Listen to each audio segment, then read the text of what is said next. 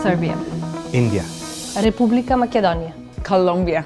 We have in this course 30 participants from 22 different countries, all very talented people in uh, positions that they can make their entrepreneurial ecosystem thrive. I thought this was going to be the great opportunity to learn from the people that have done it before us and seem to be doing it very well. always is the best when you learn for the best one. That means from Israel. The Israeli ecosystem was built in just in a few years and today it's a role model all over the world. It is called a startup nation mainly because from the very beginning there is a very strong survival instinct.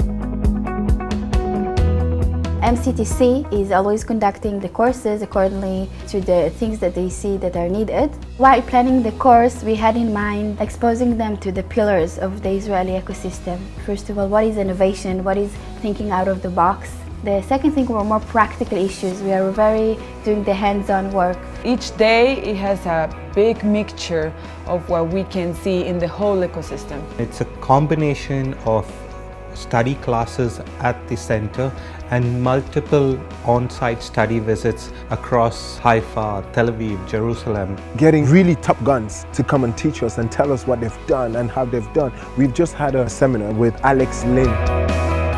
Everybody feel that they don't have enough resources. I don't have enough money, I don't have enough entrepreneurs, I don't have enough uh, university technology. So the very first thing we were working on that time is to change the mindset, to show people that you can do it, you can change your life, you can build a startup, and you can create business that is meaningful.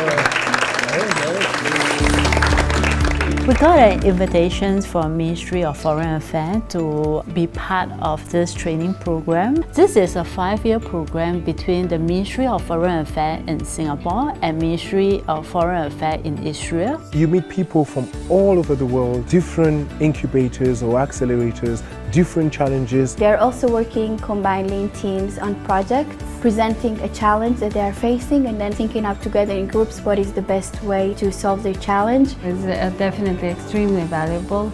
We learn a lot from each other. We don't think anyone should live in isolation in this time and day. Everywhere, everywhere is about globalization. By getting together a diverse group from multiple countries and putting them in an ecosystem like Israel and showcasing to them how challenges are solved here, it gives us a lot of ideas to collaborate together. And when they go back, they have so much inspiration and motivation to develop their ecosystems. We can go deeper in our problems and bring real solutions that we can start working next Monday. For me, this is not uh, the end of the process, but it is only for beginning. MCTC!